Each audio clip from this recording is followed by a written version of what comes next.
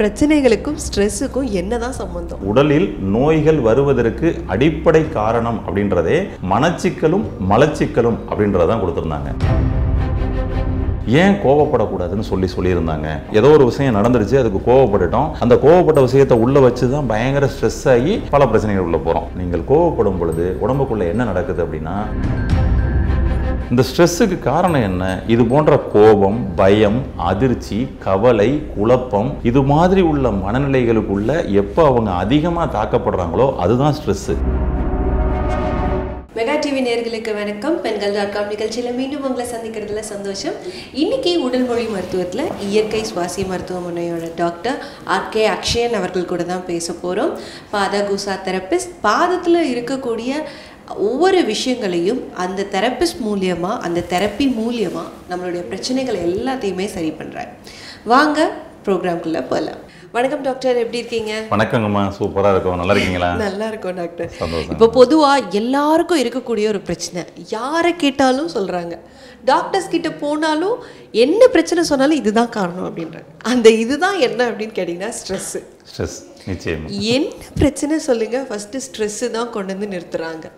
அதே மாதிரி யாரை கேட்டாலுமே ஸ்ட்ரெஸ்ஸு காய்ச்சலா ஸ்ட்ரெஸ்ஸில் வந்துருச்சுப்பா. தலைவலியா ஸ்ட்ரெஸ்ஸில் வந்துருச்சு. உடம்பு வலிக்குதா ஸ்ட்ரெஸ்ஸில் வந்துருச்சு. இப்படி எது கேட்டாலுமே ஸ்ட்ரெஸ்ஸு ஸ்ட்ரெஸ்ஸுன்றாங்களே டாக்டர் முன்னாடி அந்த வார்த்தையே கிடையாது. உண்மையிலே பிரச்சனைகளுக்கும் ஸ்ட்ரெஸ்ஸுக்கும் என்னதான் சம்பந்தம்? இருக்கு. இருக்கு அப்போ.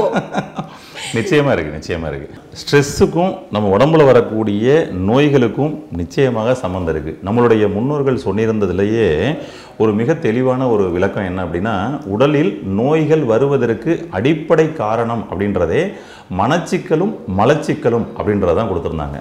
அப்போ மலச்சிக்கல் இருந்தாலும் அது உடம்புக்குள்ள பல பிரச்சனையை உண்டு பண்ணிடும் மனச்சிக்கல் இருந்தாலும் அது உடம்புக்குள்ளே பல பிரச்சனையை உண்டு பண்ணிடும் இன்றைக்கி நீங்கள் சொன்ன மாதிரி படிக்கிற குழந்தைகளில் இருந்து நம்ம எல்லா வேலைகளுக்குள்ள பயங்கர ஸ்ட்ரெஸ்ஸுக்குள்ளே ஓடிக்கிட்டு இருக்கக்கூடிய வேலைகளுக்குள்ளே இருக்கிறதுலேருந்து எல்லா பேருக்கும் அதாவது ஒரு சின்ன வயசுலேருந்து பெரிய வயசு வரைக்கும் எல்லா பேருமே இன்றைக்கி ஸ்ட்ரெஸ்லேயே ஓடிக்கிட்டு இருக்கிற மாதிரி ஒரு சூழல் இருக்குது.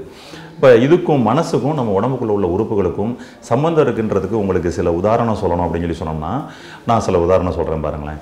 அதாவது பார்த்தீங்கன்னா நம்ம வந்து பயங்கரமாக கோவப்படுறோம்.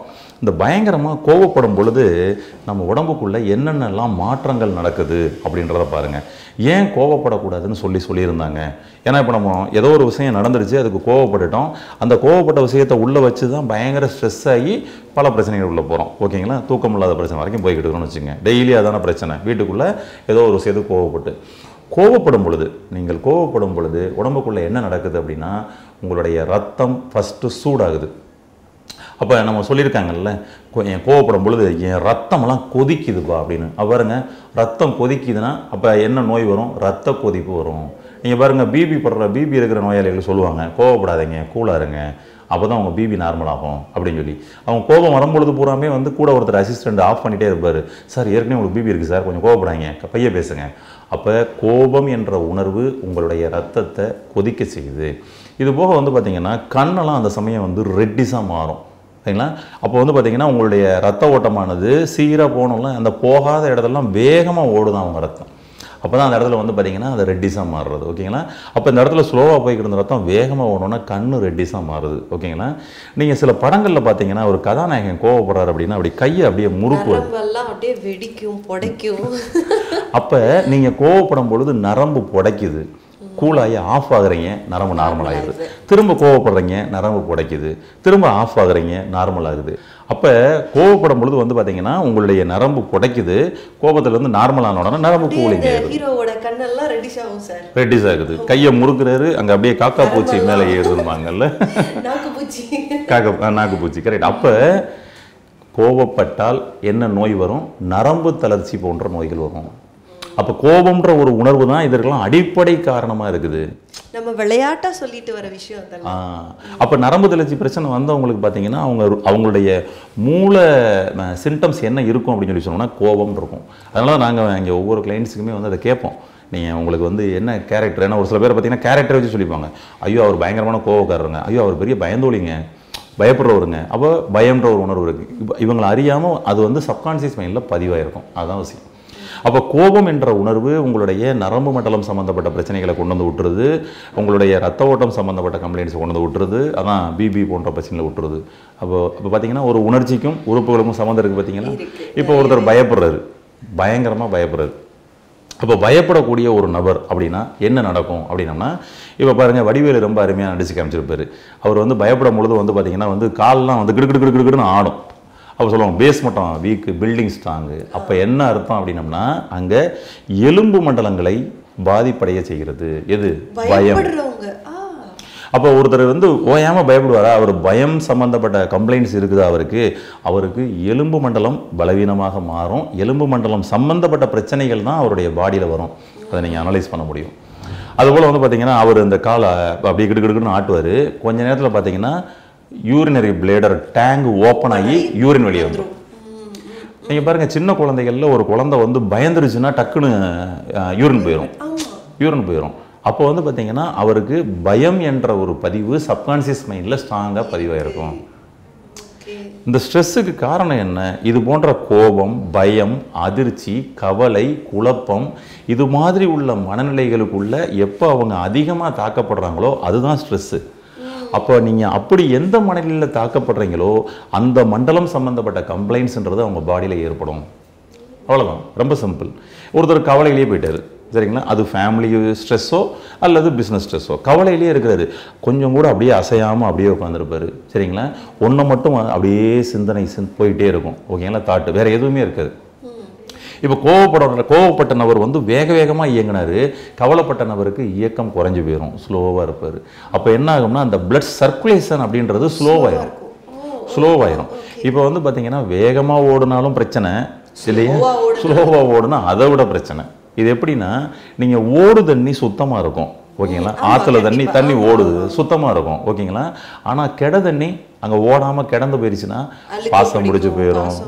அழுக்கு பிடிச்சி போயிடும் ஸ்மெல்லு வரும்.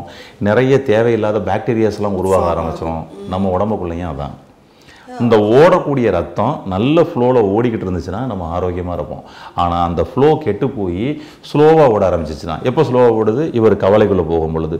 அப்படியே கவலையில் உட்காந்து கவலையை நீடிச்சுக்கிட்டே இருப்பாங்க.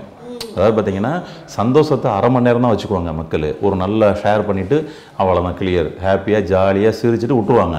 ஆனால் கவலையை என்னை ஏன் அவர் அடிச்சாரு? எதுக்கு அடிச்சாருன்னே தெரியலையே. நான் ஒரு நாள் ஒரு வாரம் ஒரு மாதம் சில பேர் வருஷக்கணக்கில் கொண்டு போனவங்களாம் இருக்கிறாங்க எக்ஸ்பர்ட் ஓகேங்களா?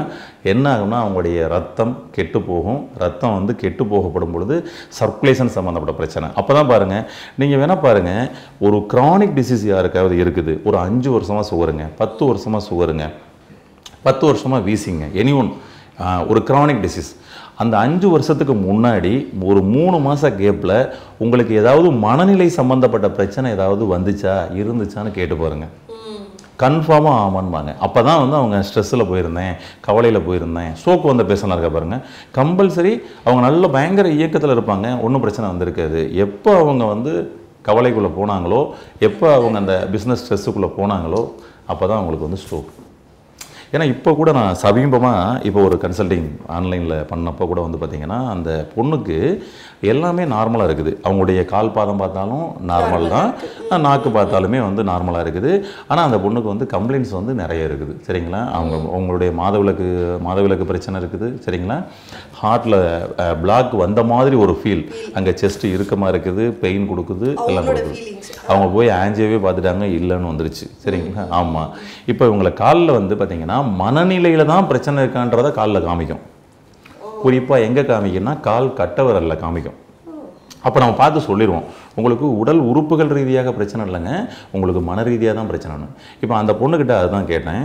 உங்களுக்கு வந்து உறுப்புகள் ரீதியாக பிரச்சனை காமிக்கலன்னா மன ரீதியாக தான் காமிக்குது. இந்த ப்ராப்ளம் வந்ததுக்கு இது கிட்டத்தட்ட வந்து அவங்க வந்து ஃபைவ் இயர்ஸாக தான் அனுபவிச்சுக்கிட்டு இருக்கிறாங்க. ஃபைவ் இயர்ஸாக அந்த பிரச்சனை எப்படி பாருங்கள் அப்போ அந்த அதுக்கு முன்னாடி ஃபைவ் இயர்ஸுக்கு முன்னாடி ஏதாவது ம- மன ரீதியாக ஏதாவது தாக்கம் ஏற்பட்டுச்சா?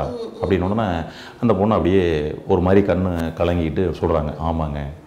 அவங்க கண்ணுக்கு முன்னாடி அவங்களுடைய பாட்டிக்கு ஒரு சின்ன ஆக்சிடெண்ட் அந்த பதட்டத்தில் உள்ளே போயிருக்கிறாங்க. அப்போ அவங்க வந்து இந்த உறுப்பு ரீதியான பிரச்சனைகளை மாட்டிக்கிட்டாங்க. இப்போ உறுப்பு ரீதியாக உள்ளதுக்கு நம்ம எவ்வளோ ஸ்பெஷலிஸ்ட்டை பார்த்து நம்ம மெடிசன் வாங்கி சாப்பிட்டாலும் அவங்களுடைய சப்கான்சியஸ் மைண்டில் இருக்கக்கூடிய இந்த மன ரீதியான பயத்தை கவலையை அதிர்ச்சியை போக்கலைன்னா அது சரியாக வராது. நிறைய இன்னைக்கு அதிகமான நபர்கள் வந்து பார்த்திங்கன்னா இந்த மென்டலி ஸ்ட்ரெஸ்ஸில் தான் வர்றாங்க. அதுக்கு சப்கான்சியஸ் மைண்டில் இருக்கக்கூடிய இந்த பதிவை வெளியேற்றுறதுக்குரிய வேலையை முதல்ல பண்ணுவோம். அது வந்து நம்மளுடைய காலில் கால் கட்டை விரல் பகுதிகளில் இந்த மாதிரி உள்ள ஸ்ட்ரெஸ் இருந்ததுன்னா காமிச்சு கொடுத்துரும். அது அங்கே வந்து பார்த்தீங்கன்னா சில உடன் டூல்ஸ் வச்சு அதெல்லாம் ரிலீஸ் பண்ணும்போது கிளியர் ஆயிரும். இதை வீட்டில் நீங்களே சரி பண்ணிக்கணும் அப்படின்னா ரொம்ப சிம்பிளாக நம்ம வந்து அதை நீங்கள் கேட்டிங்கன்னா நல்லா இருக்கும்ல? ஆ. இது வந்து வீட்டிலேயே நம்ம பார்க்கணும். நமக்கு அந்த மாதிரி ஃபீல் இருக்குன்னா சரி பண்ண முடியுமா டாக்டர் ஆ நிச்சயமாங்க. இது வந்து பார்த்தீங்கன்னா டெய்லி நைட்டு படுக்கும் பொழுது அவங்க வந்து அவங்களுடைய கால் கட்டவரல்ல சும்மா நல்லெண்ணெய். செக்கில் ஆட்டின நல்லெண்ணெய் வந்து வாங்கி வச்சுக்கிட்டு அதை அப்படியே கால் கட்டவரல்ல லேசாக அப்ளை பண்ணி அப்படியே சின்ன ஒரு மசாஜ் தேங்காய் எண்ணெயில் கூட பண்ணலாம் ஒன்றும் பிரச்சனை இல்லை. ஒரு எண்ணெய் அங்கே பயன்படுத்தணும். அது நல்லெண்ணெயும் நல்ல ரிசல்ட் கொடுக்குது தேங்காய் எண்ணெயுமே நல்ல ரிசல்ட் கொடுக்குது. பண்ணிவிட்டு அப்படியே வந்து ஒரு சின்ன மசாஜ் அப்படியே வந்து அந்த கட்டவரலை வந்து மேலும் கீழுமாக அந்த மாதிரி வந்து தேய்க்கணும். எப்போ? எல்லா வேலையும் முடித்து நைட்டு படுக்க போகும் பொழுது. அதை முடிச்சுட்டு நீங்கள் படுத்து பாருங்கள் டோட்டலாக நீங்கள் சேனல் வந்து சுவிட்ச் ஆஃப் பண்ணிட்டு தூங்குன மாதிரி இருக்கும். ஆ உள்ள இறைச்சலே இருக்காது. சரிங்களா? வேற வேற வேற சேனல் எதுவும் டியூன் ஆகாது. ஏன்னா இல்லைன்னா நார்மலாக நம்ம அந்த ஸ்ட்ரெஸ்ஸில் இருக்கிறவங்க படுத்தாங்கன்னா உள்ளுக்குள்ள படம் ஓடிக்கிட்டே இருக்கும். புது புது படமாக ரிலீஸ் ஆகிக்கிட்டு இருக்கும். பிரச்சனைகள் உள்ள படங்கள் சார் அதுவும். கரெக்டு அப்போ இந்த சமயத்தில் இவங்க இப்படி பண்ணிட்டு படுத்தாங்க அப்படின்னம்னா டோட்டலாக வந்து அப்படியே நியூட்ரல் ஆகிட்டு ஒரு நல்ல ஆழ்ந்த தூக்கத்துக்கு போவாங்க. அங்கே சப்கான்சியஸ் மைண்டில் இருக்கக்கூடிய அந்த கழிவுகள் நீக்கப்படும். சரிங்களா? அதற்குரிய நரம்பு நம்மளுடைய கால் கட்டவரில் தான் வந்து முடிவடையுது. இதை நம்ம ரிலீஸ் பண்ணும் பொழுதே ரெடி பண்ணிக்கலாம். சூப்பர் சார் ஸோ ரொம்ப ஒரு நல்ல தகவல் அப்படின்னு தான் சொல்லணும். நிறைய பேரை கேளுங்க. சின்ன குழந்தைய கேளுங்க. ஒரே ஸ்ட்ரெஸ்ஸாக இருக்குப்பா அப்படின்னு தான் சொல்லுவாங்க. பல பிரச்சனைகளுக்கு ஸ்ட்ரெஸ் தான் காரணம். அதுக்கு ஒரு நல்ல தீர்வும் இன்னைக்கு கிடைச்சிருக்கு. மீண்டும் இதே மாதிரி ஒரு சிறப்பான எபிசோடில் சந்திக்கலாம். நன்றி. தேங்க்யூ டாக்டர் சந்தோஷங்கம்மா. நன்றிங்கம்மா.